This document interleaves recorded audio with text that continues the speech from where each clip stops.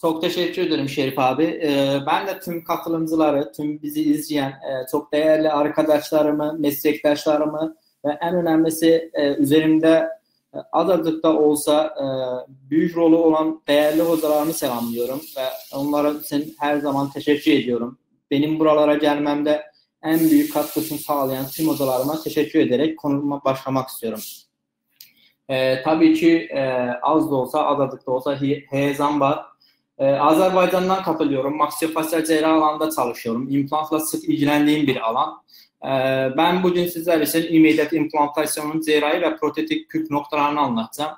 Ve günümüzün diş hekimliğinin en önemli kısmı olan dijital diş hekimliği ile ilgili immediate implantasyon arasında ilişki kurmak istiyorum ve bunun için yaptığım vakaları sizlerle paylaşmak istiyorum. Şimdi immediate implantasyonu anlatmamıştan önce özel birkaç tane immediate implantasyon nedir, immediate loading nedir bunları anlatmak istiyorum. Ee, hepimizin bildiği gibi diş seçiminden sonra hemen yapılan implantasyona immediate implantasyon diyoruz. Immediate loading dediğimiz ise e, dişi çektikten sonra implantı yapıyoruz ve hemen yükleme yapıyoruz. Buna immediate loading diyoruz. Ee, peki immediate implant, immediate loading işe yarıyor mu? Her zaman başarılı olma şansımız var mı? Ee, çok güzel e, çalışmalar var. E, Profesör Buzer ITI çalışması. Bunu herkes ITI'den e, bilir bu e, çalışmanı. E, immediate implantasyonu nerede, ne zaman, e, hangi dönemde yapalım? Böyle bir başlık altında çalışma yapmıştır. E, bana göre immediate implantasyon yapacağımız vakalarda bu çalışmanın çok önemi var. Çünkü bu çalışmada her vakaya immediate implantasyon yapılmamasını özellikle söylüyor. ITL grubunun e, bekleyebilir misin? Facebook'ta bir sorun var. Bir çözelim. Sunumunu kaçırmasın arkadaşlar. Video tamam, açılmıyormuş. Tamam.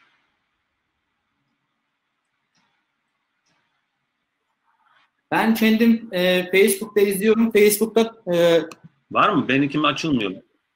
Var var. Göz, görüyorum abi ben. Bir daha deniyorum. Sunumu. Bir saniye. Tamam oldu şimdi. Bekleyebilir misin? Facebook'ta bir sorun var. Çözelim. Tamam çalışıyor. Arkadaşlar. Tamam. Tamam. Facebook açıldı mı arkadaşlar? Şu anda Facebook attı abi. Ama oldu şimdi galiba. Akıl e, bak şu anda ben kendi e, Facebook'umda kendimi evet, tamam. izleyebiliyorum tamam. yani. O zaman belki bazı katılımcıların internet ee, hatlarından oluşuyor. Bir yazar mısınız Facebook'ta? E, görüntü var mı? Sıkıntı yok. Tamam. Okey. Devam edebilirsin. Abi ATI grubunun çalışmalarına göre e, immediate implantasyon yaparken yumuşak doku iyileşmesini beklememiz lazım. Buna biz erken implantasyon diyoruz. Yani dördüncü, altıncı haftada yaptığımız implantasyondur. Bazı vakalarda hakikaten bu e, çok önemli. E, yumuşak doku kaybı olan hastalarda yumuşak dokunun iyileşmesi için e, erken immediate implantasyon yaptığımız birçok vakalar var. Şimdi onların hangisine e, e, özen gösteriyoruz? Onun için e, anlatmak istiyorum. Literatüre baktığımızda e, 4000'in üzerinde immediate loading, immediate implantasyonla ilgili çalışmalar vardı. Bu çalışmalar bize ne söylüyor? Kısa olarak bunlardan bahsetmek istiyorum. Şimdi e, Melo'nun 2016 yılında meta analiz bir çalışması var. Yaklaşık 30 tane önceden yapılmış çalışmanı rehber olarak bu çalışmanı yapmışlar. Çalışmanın sonuçlarına göre yaklaşık 1400 tane implant karşılaştırılmış. Birinci çalışmada 700 tane normal, diğer kısmı ise e, hemen yapılmış implantlar e, karşılaştırılmıştır. Sonuçlarına baktığımızda immediate implantasyon yapılan vakalarla normal yapılan vakalarda implantların yaşama oranı yani sağ kalım oranı arasında anlamlı bir fark bulmuşlar. İkinci çalışmaya baktığımızda yine çok güzel bir çalışma. 2015 yayını e, Albrechtson ve Kronowitz'in çalışması. Bu çalışma sonuçlarında da yine immediate implantasyonla normal yapılmış implantlar arasında, implantların sağ kalma oranı arasında anlamlı bir fark bulunmuş. Yaklaşık immediate implantasyonda %3 oranda başarısızlık görülmüştür. Buna rağmen her iki çalışmada marjinal kemik kaybı, immediate implantasyon olsun, ister normal implantasyon olsun, marjinal kemik kaybında, perimplantit bulgularında e, kanama indekslerinde anlamlı bir fark bulunmamıştır. Şimdi bu iki çalışmanın sonucuna göre e, özet olarak bunu söylemek istiyorum. Çalışmaların hepsi immediate implantasyonun başarısızlık nedenli immediate implantasyon vakalarının doğru seçilmemesinde ve protokola uyulmamasında gösteriyor. Diğer kısımlarda ise herhangi bir fark bulunmamıştır. Şimdi üçüncü çalışmaya baktığımızda 2019 yani çok güzel bir tane çalışma. Immediate implantasyon enfekte alana yapılanlarla enfekte alana normal çekim soketlerine yapılmış implantlar karşılaştırılmış. Bu çalışma sonuçlarına göre arkadaşlar normal implantasyon yani immediate implantasyon normal seçim soketine yapıldıkları arasında anlamlı fark bulunmuş. Yani enfekte alana yapılmamasını özetle tavsiye ediyorlar. Peki en çok verilen sorular sorulardan bir tanesi bu. Marjinal kemik kaybında nasıl değişiyordu? Immediate implantasyon marjinal kemik kaybının e, erimesinin karşısını alıyor mu? 2019 yılında radyoloji uzmanlarının yaptığı çok güzel bir çalışma var.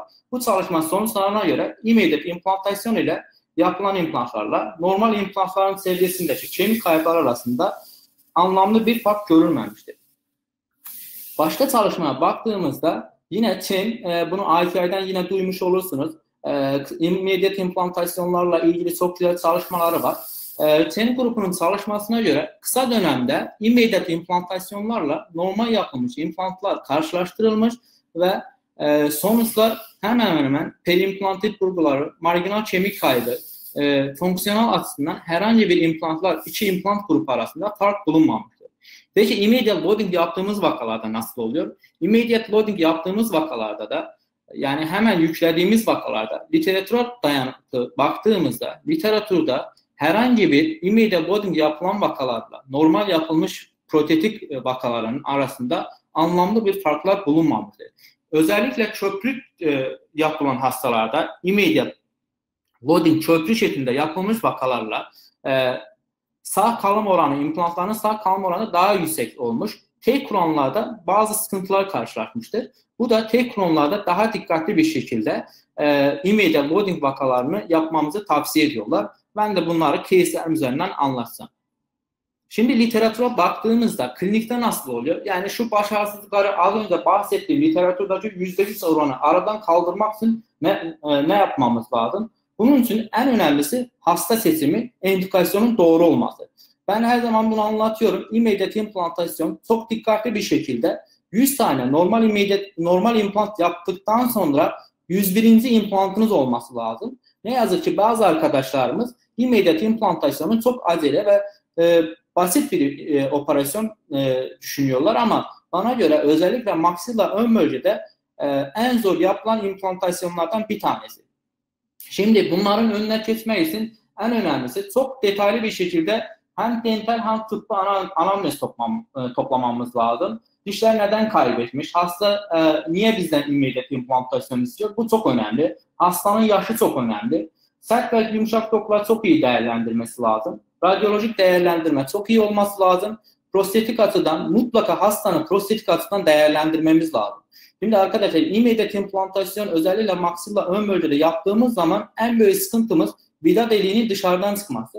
Bunu biz önceden tahmin etmemiz lazım ve immediate implantasyon yaptığımızda çok küçük hata payımız yani e, pozisyon e, hatamız ileride bizim protetik açıdan sıkıntı yaratacak. O yüzden dikkatli olmamız lazım. Şimdi ben e, uzun süredir e, cerrahiyle ilgilendiğim için protokol olarak normalde e, cerrahi protokollara çok özen gösteriyorum. E, bu konuda da implantın immediate implant için özel bir protokol oluşturulmuş. E, tüm arkadaşlarımdan özellikle rica ediyorum bu kurallara uyması lazım. E, İspanyol grubunun çalışması EA kongrelerinden hepimiz bildiğimiz bir e, e, isimler bunlar. Bu çalışmanın kurallarına göre nelere dikkat etmemiz lazım? Bana göre şimdi anlatmak istediğim 5 tane ana kural bizim immediate implantasyonun en önemli kuralları. Bunlardan bir tanesi bukkal divarın varlığı. İkinci primer stabilizasyon. Üçüncü implantın tasarımı. implantın kemik arasında kalan boşluk. Ve bana göre implantın başarısını immediate implantasyonun en önemli faktörü diş eti kalınlığı. Bu beş tanesini biri birinden ayrım bence doğru olmaz. Bunlar için de ayrıca anlatmak istiyorum. Şimdi primer stabilizasyona baktığımızda E, primer stabilizasyon immediate implantasyon için arkadaşlar olmazsa olmazıdır. Yani normal e, normal implant yaptığımız vakalarda şu anda çalışmalar primer stabilizasyonun bir o kadar önemli olmadığını gösteriyor. Fakat e, özellikle söylemek istiyorum. Immediate implantasyonda primer stabilizasyon en önemli faktördür. Yani bu yapılan tüm çalışmalarda literatüre baktığımızda ister içi, e, son senenin ister daha önceki e, vakalarımızda e, primer stabilizasyonun çok önemli olduğunu gösteren çalışmalar vardır. Peki primer stabilizasyonu nasıl elde etmemiz lazım? Primer stabilizasyon e, elde edilmesinin en önemlisi kemik kalitesini e, daha iyi bilmek, daha önceden tahmin etmek ve dirilleme protokolü dediğimiz protokolü dikkatli bir şekilde önem vermektir. Şimdi ben klinik tecrübemde primer stabilizasyon her vakanda alıyor muyum? E, alabildiğim kadar %99 başarılıyım çünkü dirilleme protokolünü çok iyi biliyorum. Çalıştığım markanın e, drillerini, çalıştığım markanın tasarımını çok iyi bilmem lazım ki primer stabilizasyonu elde edeyim. Şimdi primer stabilizasyon bizim için bir elde hem e, aynı günde immediate loading yapıldıysa çok önemlidir. En az 30-35 tork değeri almamız lazım. Bunun için arkadaşlar tavsiye edeceğim özel borular vardır. Ben bugün kliniğimde kullanıyorum. Bilmiyorum belki görüyorsunuz. Ben e, Versace boruları var burada. E, fotoğraflarını da gördünüz. E, şunun mantığı kemiği sıkıştırmaktır. E, peki Versace boruları bu borular olmadığımız zaman ne yapıyoruz? Ben birelde de göstereceğim. Son iki senedir otogen graft alma amaçlı ve kemiği sıkıştırma amaçlı tamamen ikinci frezler, daha doğrusu pilot frezinden sonra su çalışıyorum. Bu da çok önemli. E, bunlar olmasa ne yapıyorum? Ben sıkıştırmanı implant torkuyla ters yönde ileri yapıyorum. Bunun için e, kemiğin tabii ki kalitesi çok önemlidir. Bunları sadece değiş ve dört kemikte ters e, e, geri çevirerek implant e, implant modunda geri çevirerek frezi öne doğru hareket ettiriyorum. Çok iyi kemik sıkıştırıyorum ve prim stabilizasyonu elde edebiliyorum. E, bunun dışında e, arkadaşlar belki de en önemli bir tane faktörlerden bir tanesi de e, kemik, bukkal kemik divarın kalınlığıdır. Literatüre baktığımızda tüm çalışmalar immediate implantasyon yapacağımız hastaların hepsinde bukkal divarın sağlıklı olması lazım ve en önemlisi sağlıklı olması dışında belli bir kalınlığı olması lazım. Bu kalınlık ne kadar olması lazım? Rakam olarak net bir rakam 1.7-1.8 olarak söylüyorlar. Genel olarak da 1.5 milimin üzerinde olması lazım. 1.5 miliminden ince kemiklerde e, implantın estetik açıdan e, hem sıkıntı oluyor, ileri dönemlerde rezoksiyonlarla karşılaşıyoruz.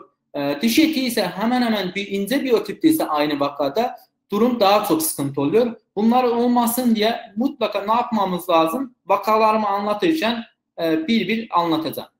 Şimdi bukkal divar için baktığımız zaman bukkal divarın sınıflandırması var. Belki de bunu hepiniz biliyorsunuz. E, immediate implantasyon yapacaksa mutlaka sadece tip 1 olan, tip 1 e, sınıfında olan vakalara implant yapabilirsiniz. 2-3 tip hastalar geldikte yani kemik durumu böyle olan vakalarda mutlaka argumentasyon yapmamız lazım. Otogen grep veya fark etmiyor onları anlatacağım e, bir tedavi uygulamanız lazım. Ve şurada Dehisens'in karşısına almak için yani ileride e, Dehisens olmasın diye bu vakalarda 2-3'te mutlaka e, PTF e, teflon membranları kullanmanız. Yani yeni bir kemik oluşturmak istiyorsanız da mutlaka bunları kullanmanızı tavsiye ediyorum. E, yine e, ileride membranlarla ilgili kısa bir e, başlık koymuşum. E, başka sınıflara baktığımızda ben burada ikinci ve e, 2B'ye bakmanızı istiyorum arkadaşlar. E, tip 2B'de görüyorsunuz bazı vakalarda apikal e, kronik granülasyon dokular oluyor. Immediate implant yapabilir miyiz? Bana göre bu vakalarda e, daha doğrusu literatür de bunu diyor. E, granülasyon dokunu, iltihap dokusunu çok iyi uzaklaştırdıktan sonra bukkal divanın vestibül kısmında kemik olduğu için immediate implantasyon yapabilirsiniz. E, bu vakalarda da e, dikkatli şekilde primer stabilizasyon pozisyonu ayarladıktan sonra yapabiliriz. Bunun dışında 2A olsun, e, 3. sınıf olsun bunların hiçbirinde yapmanızı tavsiye etmiyoruz. Diş etinin kalınlığı, immediate implantasyon anlatırken hep bunu söylüyorum. Diş etinin kalınlığı olmazsa olmaz. Zaten immediate implantasyon olmasa normal implant yaptığınız vakalarda da diş etinin kalınlığı çok önemlidir. Ben immediate implantasyon yaptım. Tek implantlar konuşuyorum şu anda. Vakalarda da zaten görüyorsunuz. Tek kron yap, daha doğrusu tek implant yaptığım vakaların hepsinde aynı seansta mutlaka diş eti grefleri kullanıyorum. Ee, diş eti grefti almak için ya palatinaldan ya tuber bölgesinden bir greft alıyorum. Ee, yapabildiğim kadar aynı seansta yapıyorum ve bunu çok tavsiye ediyorum. Çünkü e, bir sonraki aşamada hastalar tekrar bir operasyon bazen istemiyorlar. E, tamamen hiç istemeyen vakalar var. Yani e, benim damaktan veya palatinaldan, e, veya tuberülden e, greft aldırmak istemeyen hastalar var. E, burada çok soruyorlar bana. PRF bunların e, PRF kullanabilir miyiz abi hocam? E, şunu söyleyeyim arkadaşlar. E, yapılan 2018 yılında Bişaranen Skron'un bir çalışması var. Bu çalışma sonuçlarına göre aslında PRF'in e, diş etinin altında iyi bir iş yaptığını yani bizim palatinaldan greft alma, almamızla almamamız arasında anlamlı bir fark bulmamız ama bu çalışmanı dikkatli okuduğumuz zaman şunu bakıyoruz. Diş eti kalınlığı ile diş etinin serbest diş eti grefti bizim için farklı bir şey, PRF'in farklı bir anlamı var. Biz kalınlaştırma istiyoruz da PRF kullanabiliriz. Ama yeni bir keratinize bir diş eti, sağlıklı bir e, yapışık diş eti istiyoruzsa bunun e, görevini PRF yapamaz. Yani ince bir biyotipin altına ne kadar PRF koyarsak fark etmiyor. Normalde bu sonuç e, alamayız. Önemli olan e, burada e, kalınlaştırma istiyorsa 3 milimli bir e, diş etine sahip hastada kalınlık al, istiyorsa kemiği daha kalınlanmasını istiyorsa PRF kullanabiliriz. Şimdi en çok sorulan sorulardan bir tanesi de e, gref kullanımıdır. E, biz immediate implantasyon vakalarında gref kullanalım mı veya hangi grefleri kullanalım bu çok önemlidir. E, şu e, bana göre e, kullanacağımız en önemli grefin markası çok önemli değil. Önemli olan doğru grefi kullanmaktır. Arkadaşlar yapılan tüm çalışmalarda şu boşluğun bak burada görüyorsunuz e, implantla kemik arasında bir boşluk var. O boşluğun mutlaka greflenmesi lazım. Yani greflemediğimiz halde estetik açıdan ve dehisens oluşuyor, çökme oluyor. Orada ileri durumlarda e, estetik açıdan e, çok sıkın kum sadı gibi defekt oluşuyor. Şimdi o boşluk dolması lazım. Ama neyle dolması lazım? E, hepimiz biyoloji kemikten konuşuyoruz. Bence en iyi kemik e, otogen kemikti tabii ama otogen kemiği bazen çok hızlı rezorpsiyonu olduğu için ben mix greplerle karıştırıyorum. Yani bu ne anlama geliyor? Arkadaşlar şurada şunu özellikle söylemek istiyorum. Immediate implantasyon yapacağımız vakalarda ara boşluğu tek başına otogen greft olmadan greflemenizi hiç tavsiye etmiyorum. Mutlaka implantın e, dış tarafına, implantla kemik arasındaki implantın dış e, sırtına mutlaka otogen greft koymamız lazım. Daha sonra hacim büyükse yani aldığımız otogen gref yetersizse e, xenograf ile allograftin birce e, karıştırıp kullanmanızı tavsiye ediyorum.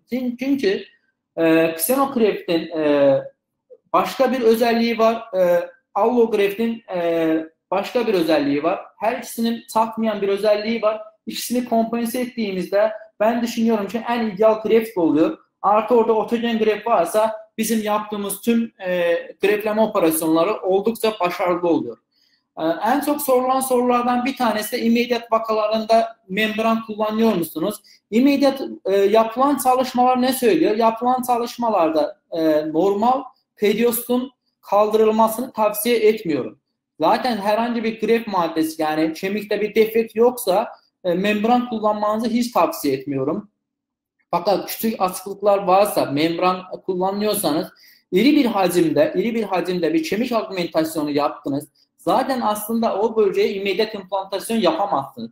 Ha, düşünelim ki immediate implantasyon yaptınız. Kemiğin her, e, implantın her tarafında bir boşluk oluştu. Mutlaka e, sorulmayan e, teflon esaslı e, titan destekli e, membranlarınızı kullanmanızı tavsiye ediyorum. Başka türlü zaten e, orada kemiğin oluşmasını beklemeyin. Sorulmayan e, kullan, e, membranları kullanmanız lazım. E, yapılan e, çalışmalar da bunu destekliyor.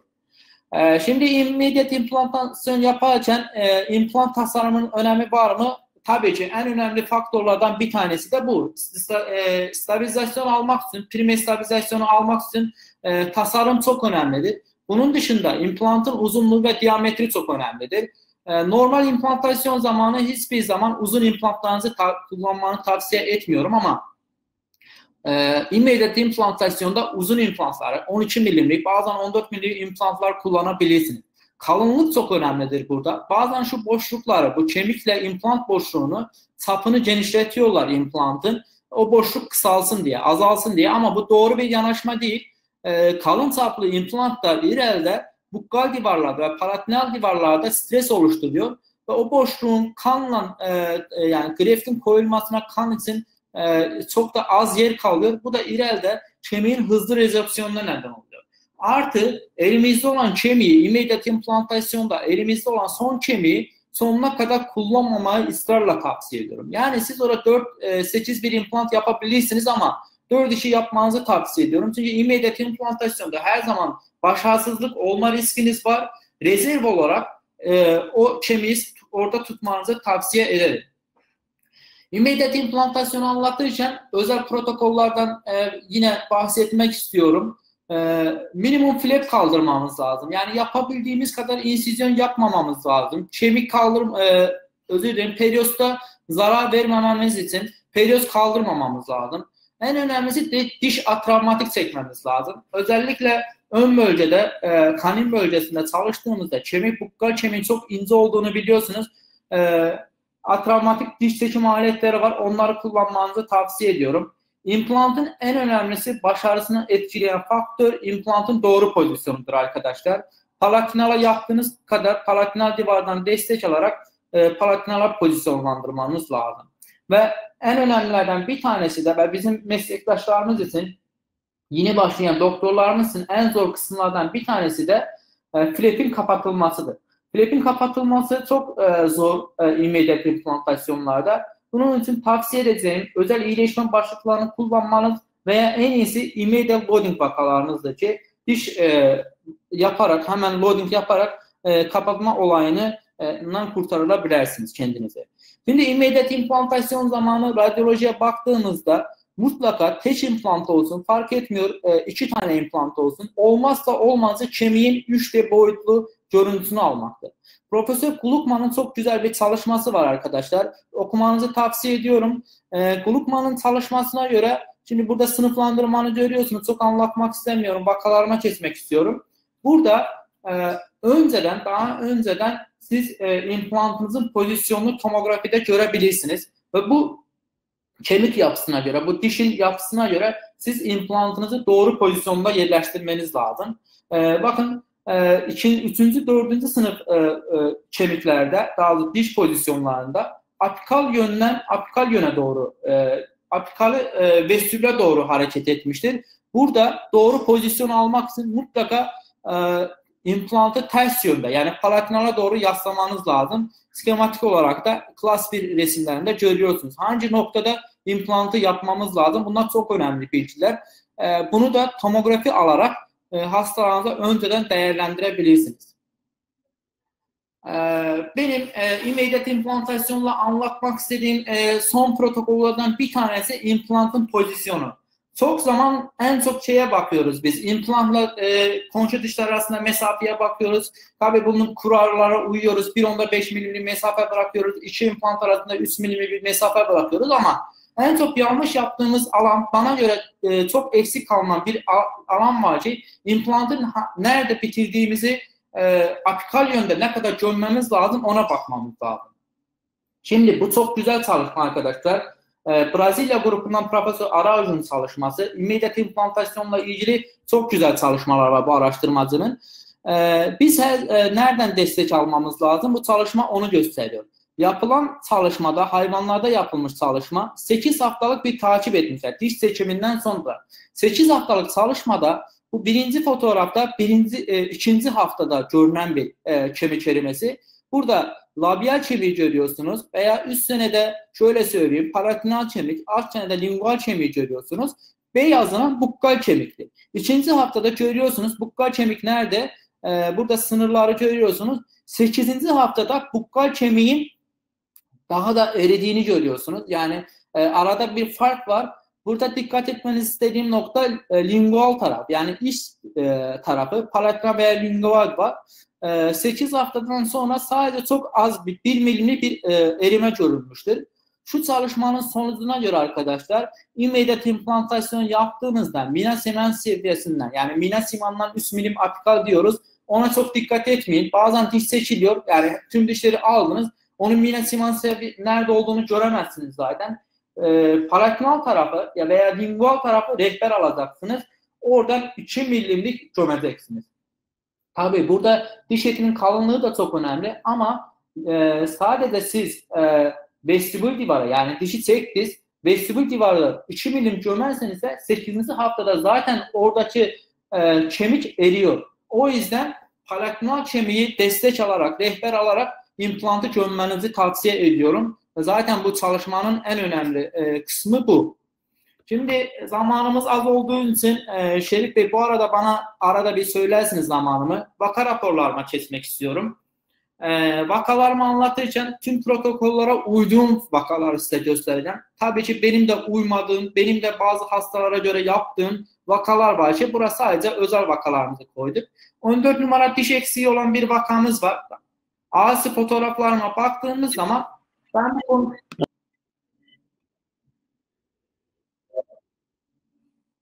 Tamam. Ee, ağız görüntüsünü görüyorsunuz. Atravmatik diş seçimi yaptık. Atravmatik diş seçiminden sonra görüyorsunuz e, bukkal divar tamamen sağlam kalmış.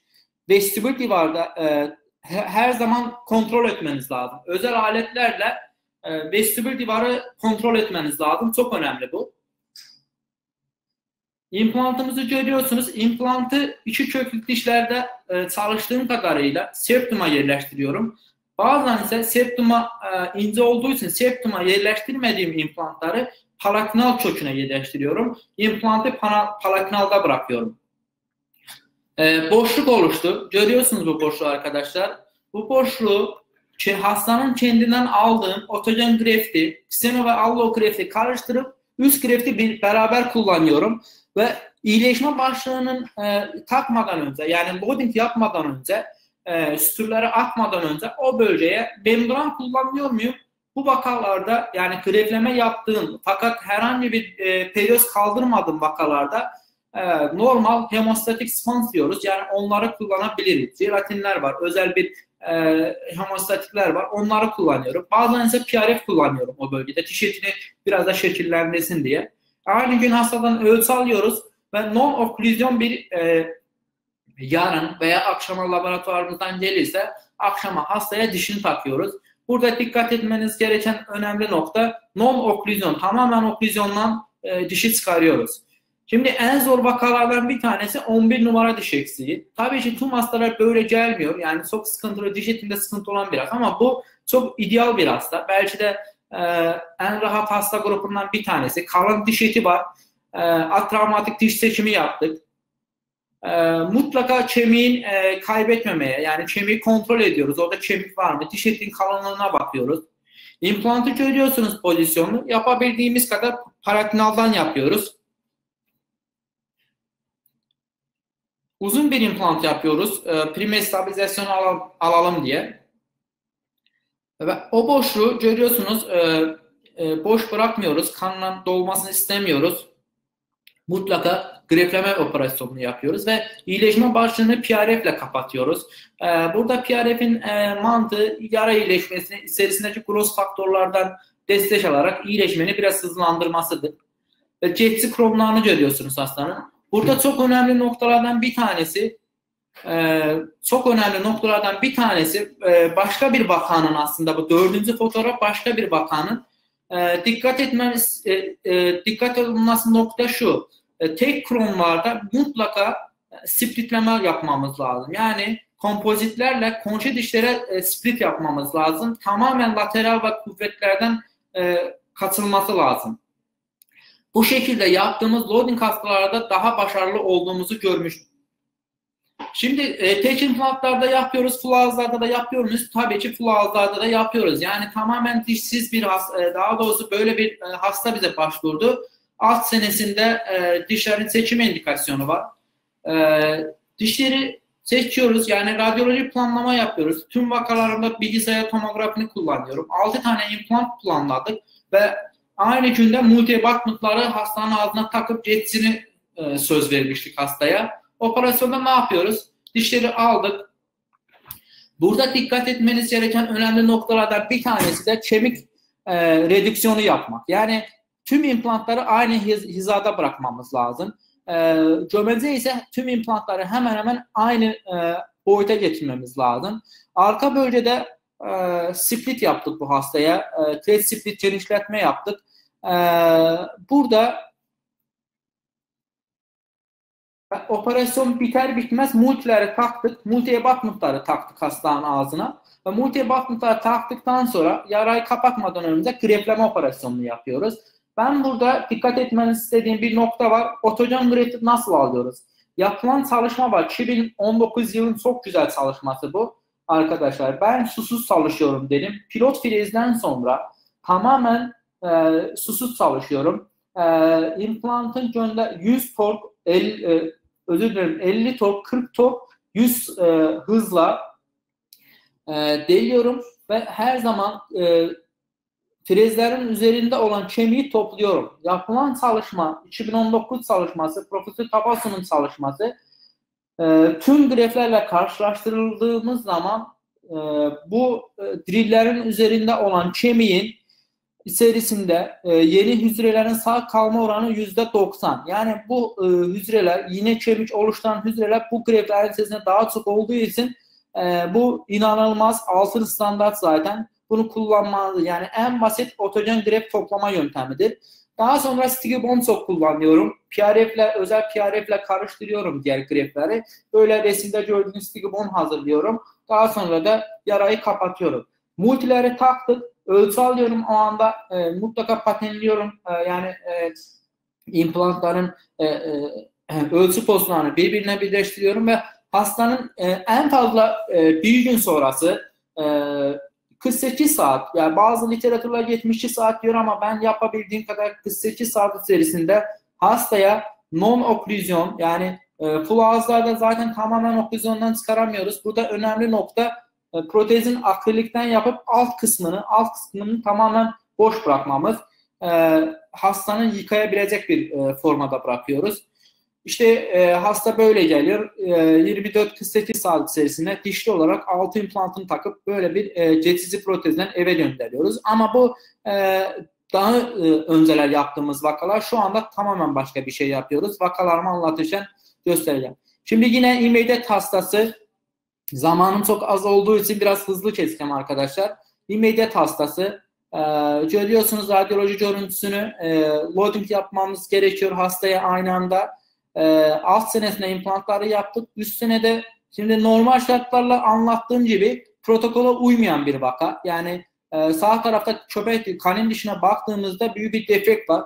Fakat e, işte hasta bizden bazen e, protokolları e, dışarı çıkarıyor. E, mecbur buraya bir implant yaptık. Atıkta kalan kemiği mix grafle yani e, otogen, allo e, ve ksenografi karıştırarak e, PRF kullanarak artı membran kullanarak mutlaka bu durumlarda e, istoplastın e, sorulmayan e, membranlarını kullan, emilmeyen membranlarını kullanıyorum. İmplantları yerleştirdik. Immediate loading yaptık. Yani bu durumda e, tork almak, prim stabilizasyon almak çok zor ama biz e, bunu özel borularla anlattığım e, yöntemle alabiliyoruz.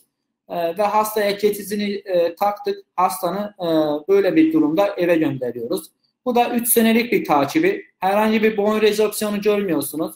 E, bence gayet başarılı bir operasyon olmuş.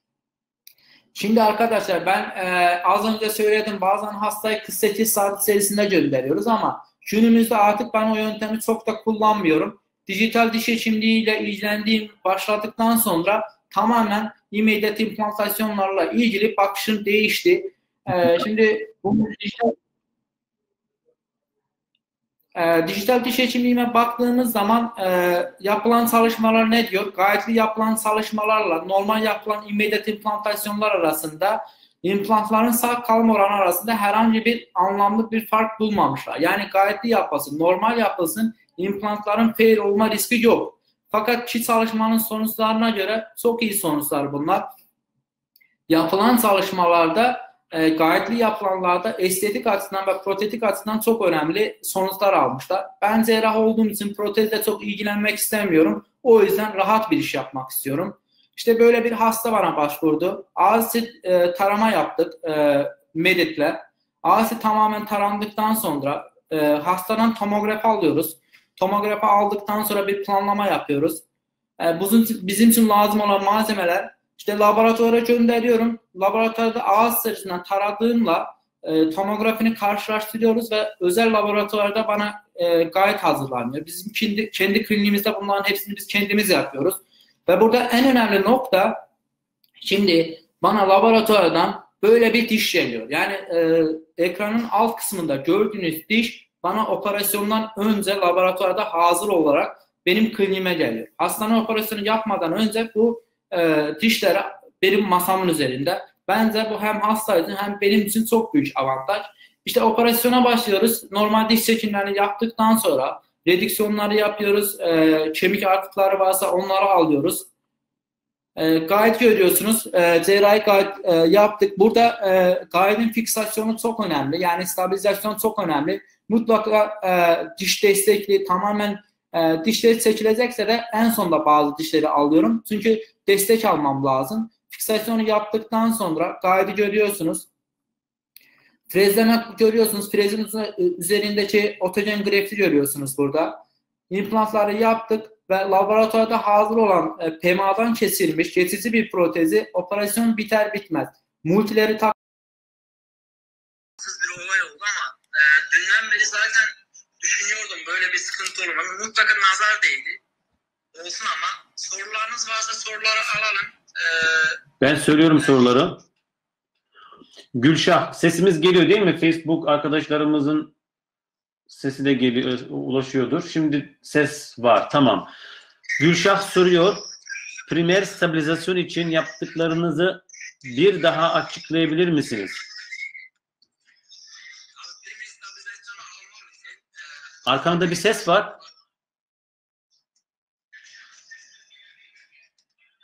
Kapatır mısın arkadaki sesi? Bu e, Kapattım abi.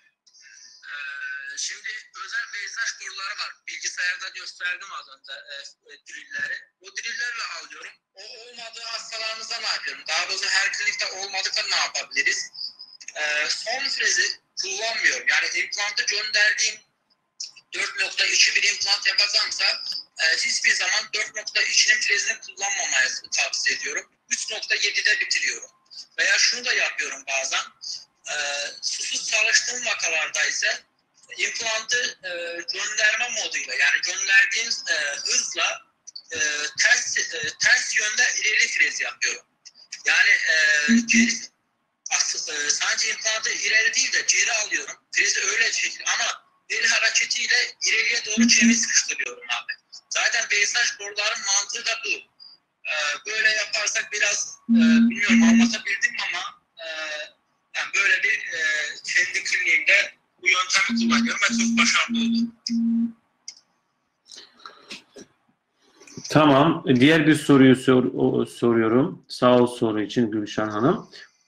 Ulfat Bey soruyor. Bulgar Hocam, ağzına sağlık, gururumsunuz, harika bir sunum. Sorum şu, 14 numaraya tek üye implant vakasında otojen grefti nasıl aldınız? Diş çekilirken kemik kaldırmak zorun zorun zorunda kaldınız mı?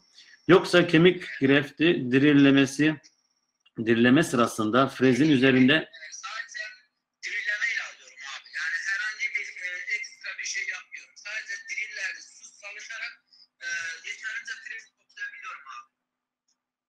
Tamam.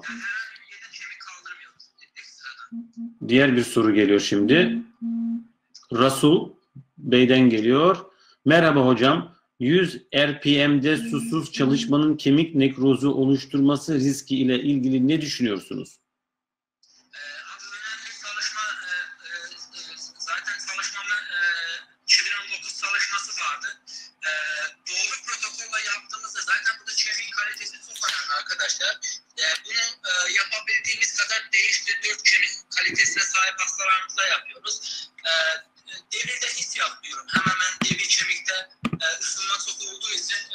Duyulmuyor. E, susuz savaştığım vakalarda da e, sadece aynı protokolü tanırdı. Bazen hızını artırıyorum, bazen hızını düşürüyorum. Yani kemiğin e, yani ısınmamasının özellikle e, bilmemiz lazım. Kalite üzerine doğru diyorsun. Nekroz oluyor ama dikkatli savaştığımızda, doğru protokolle savaştığımızda bu sıkıntı olur. Diğer soruyu okuyorum.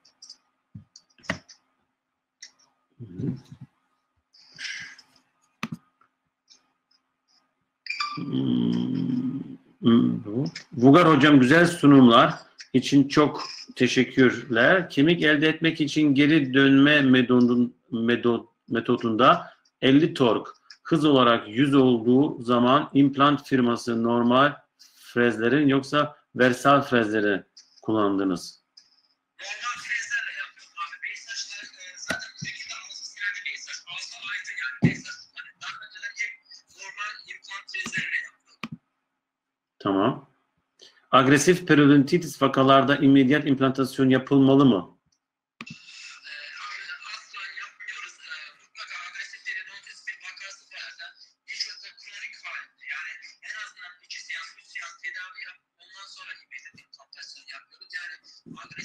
e, periodontitis hastasında biz tavsiye etmiyoruz immediate implantasyon. Sağ olsun sorular için. S- İngilizce bir soru geliyor. Sorry, I mean why do you don't preserve the shield for better emergence profile and contour? Don't. I mean why you don't preserve the shield for better emergence profile and contour?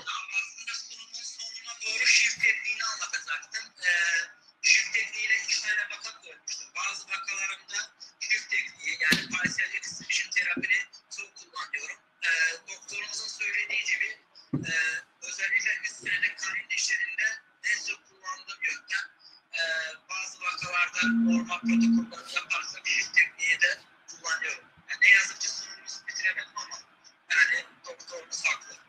Yes, uh, Javar Sadeh Pakru, he is also the, the meaning he he he want to show in the last slides the PET technique or the socket preservation technique with the socket shield, but uh, uh, the connection was interrupt.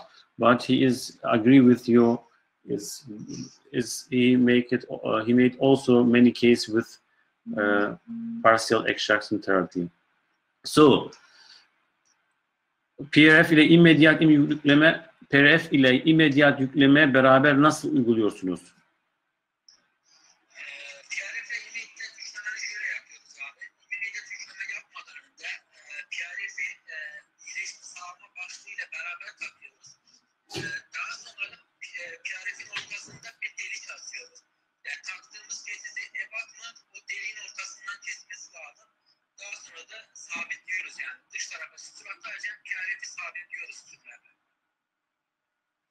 Sağ ol Bulgar kardeşim. Diğer bir soruyu alalım. Zeynep Gümüşer, drillerken reverse tercih etmesinin sebebi nedir? Dri- Drillerken e, reverse yani geri dönmenin tercih etmenin sebebi nedir?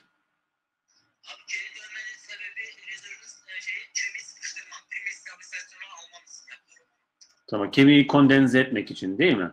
Evet, evet. Okey. E, e, e.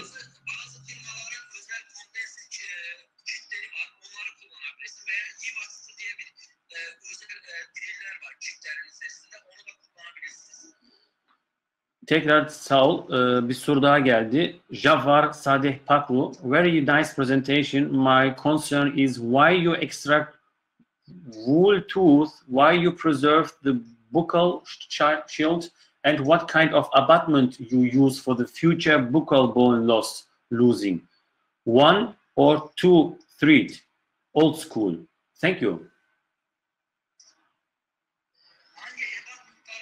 Evet. Aa, evet onu soruyor. Evet.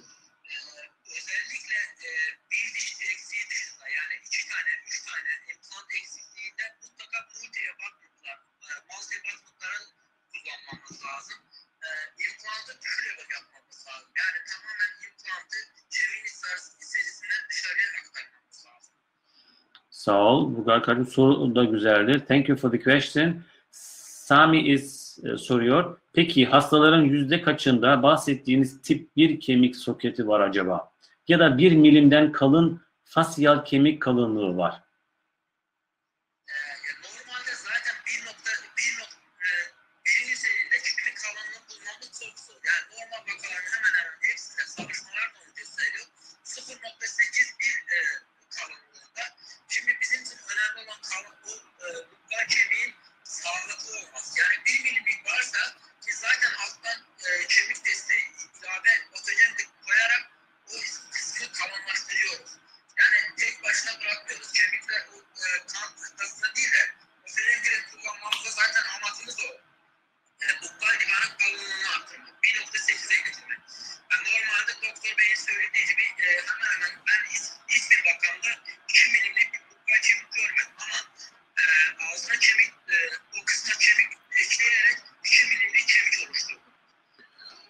Teşekkür ederim. Son soruyu soruyorum. Ee, Erol Bey'den geliyor. Özellikle maksilar kanin dişlerde atravmatik çekim için ne kullanıyorsunuz?